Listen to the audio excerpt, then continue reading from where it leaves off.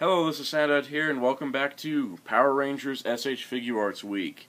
We're starting to wrap down to the second half of the line as we end with the Power Blaster Trio, and we start today with the Black Ranger.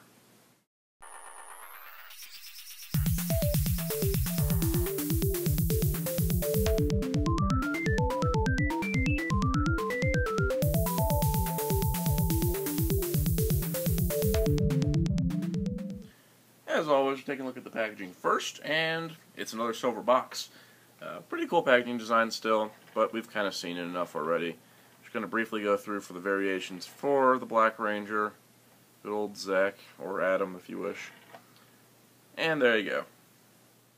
So here we have the Black Ranger. Now the Black Ranger is part of what is being called the Final Three, um, as it was the last three of the team to be released, and they were the ones that possibly weren't going to get released before uh, Bluefin Tamashii had you know sold as many units as they did with the first five figures.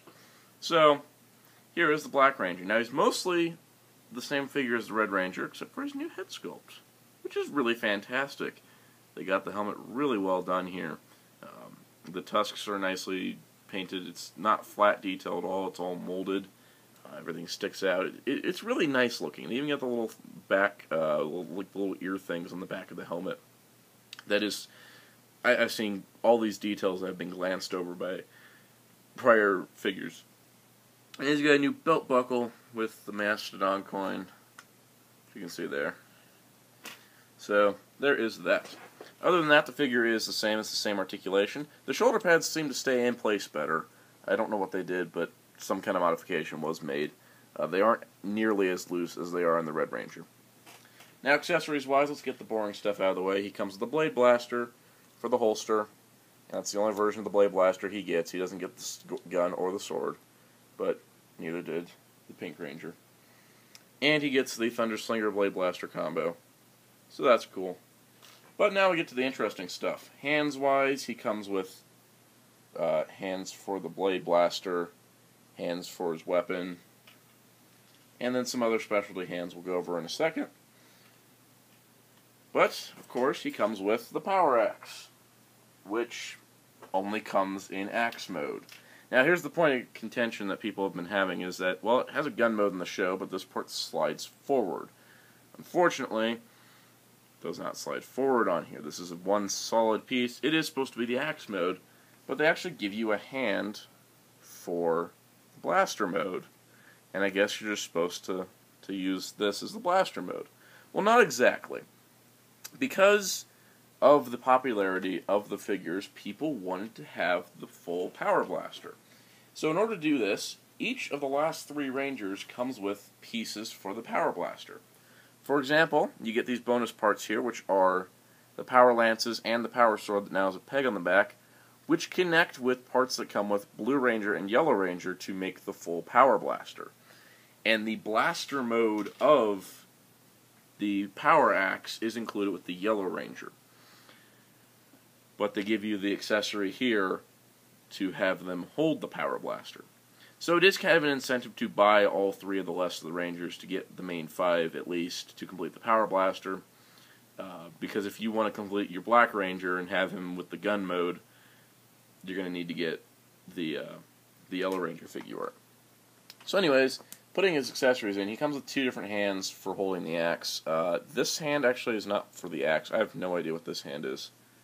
Uh, it's it's I think it's part of his roll call pose, but given this hand here, um, this one's the wider grip, I believe. I hope it is. I, I I'll look like a fool if it isn't.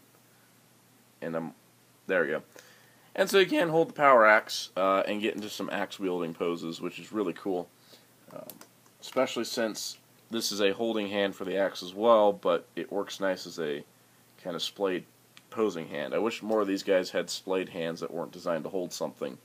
Uh, that'd be really cool. But you can give them the power axe to hold, wield, dual wield as well. You can have two hands. You can use it as a baseball bat. You can axe things.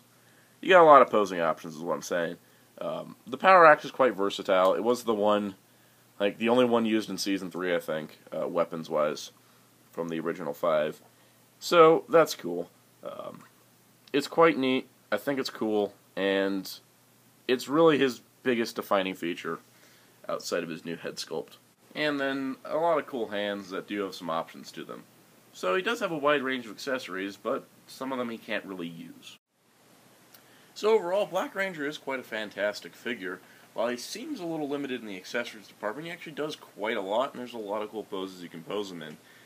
And it helps that he has good characters behind him, whether it be Zack, Adam, Goushi, whatever it is, uh, whichever character you like the best. Uh, I would definitely recommend it.